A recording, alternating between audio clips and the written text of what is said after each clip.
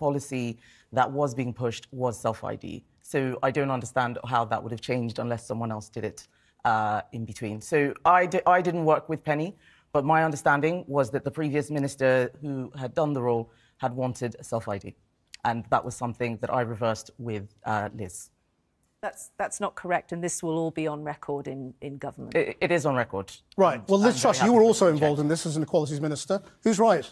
Well, I'm not going to go around criticising the truth, Liz. other candidates in this race.